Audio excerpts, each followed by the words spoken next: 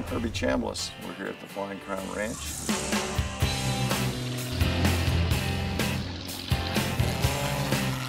Jason and I wanted to give you the opportunity to see what we had inside the hangar. We'll start out here with this uh, first airplane. This is a 1946 J3 Cub. Uh, it's got a little Continental 85, a real small little motor. There's no electrical system actually. You, you start the airplane by flipping the propeller. Probably one of my favorite airplanes in the world is the Cub. This one was totally rebuilt in the early 2000s after a dust storm flipped it over. So it's actually almost a brand new Cub. It's got basically all the old original instruments in it. They've all been refaced and resurfaced. And you can see all the, the detail work with the floors, and uh, you probably won't find a nicer one. It's a fun little airplane.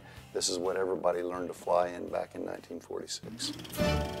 This aircraft here is one of my favorites. Uh, it's a, a three-quarter scale of a Fieseler Storch, which is the uh, aircraft that uh, Hitler sent up to rescue Mussolini. It's what they call a STOL aircraft, which is short takeoff and landing.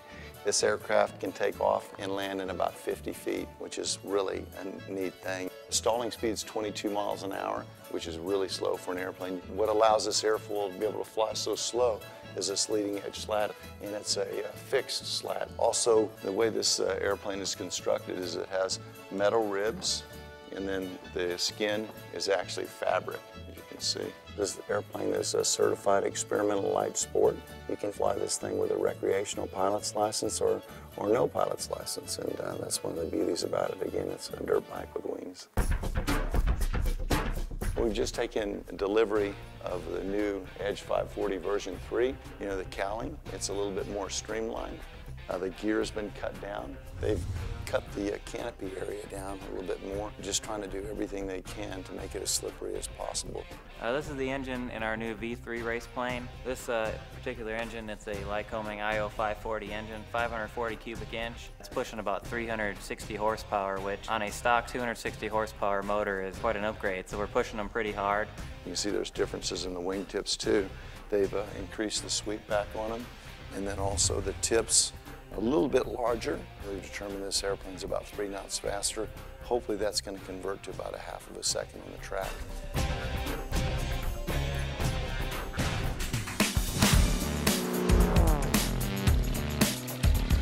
And most of you are familiar with my air show airplane. I've been flying this airplane in air shows uh, since we got it in uh, 2003.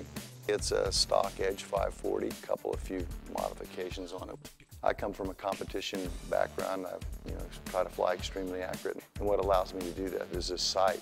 And basically when I pull the airplane vertical, I lay this down the horizon. That gives me a nice vertical lines. These are 45 lines for right side up and also 45 line for inverted. Um, you see the string here. A lot of people ask what that's all about. Uh, when you're trying to slide the airplane backwards in a competition, you have to be able to slide it both with the wheels up and then also with the wheels down. So it's really important to know just when the aircraft starts to slide backwards in order to be able to do that. So the string will go from here and it'll be pointed this way here and that allows you to know that when you're falling backwards. One of the new additions for our fleet, this 2005 Meridian, the biggest difference is it has a turboprop, basically a jet engine in it with a propeller on it.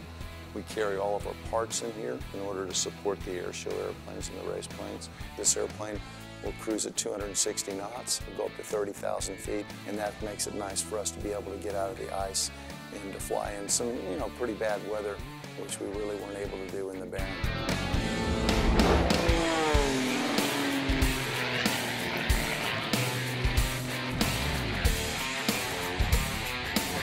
This is the aircraft that I raced in the 2010 season. Uh, we're in the process of switching from a race airplane to our backup air show airplane. It's super light. It's got a super strong motor on it. Yeah, under the uh, aileron here, we have what's called a spade or a shovel. It kind of has two purposes. One purpose is it acts as a counterbalance. There has to be so much weight in front of the aileron hinges in order to keep it from fluttering. And then it's also a form of power steering. Say we need to deflect the aileron upwards like this, there's a ton of force pushing back on the aileron. Air hits this spade or shovel and pushes it backwards. So with these on there, it basically makes it so that you can move the aileron really, really easy. You hardly even feel it.